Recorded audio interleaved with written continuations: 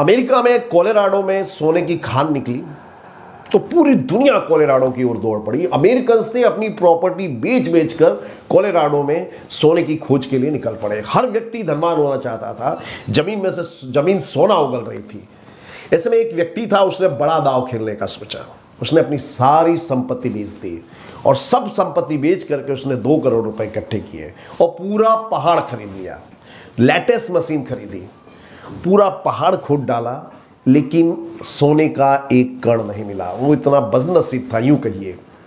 काफ़ी हताश हो गया, उदास हो गया, काफ़ी कोशिश की, पूरा पहाड़ खोद डाला, लेकिन उसे कुछ भी नहीं मिला।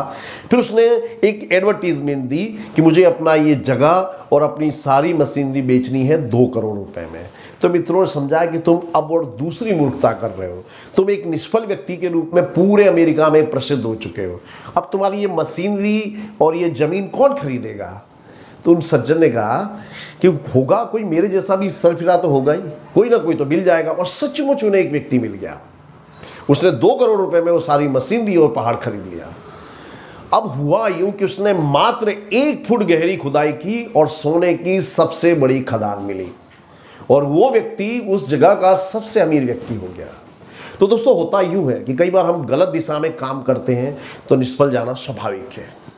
लेकिन कई बार ऐसा होता है, कई बार क्या अक्सर ऐसा होता है कि हम सही दिशा में होते लेकिन कुछ कदम पीछे से अब वापस आ जाते हैं। हमारा जो प्रयत्न है, हंड्रेड परसेंट नहीं हो पाता, इसलिए हम सफल नहीं हो पाते।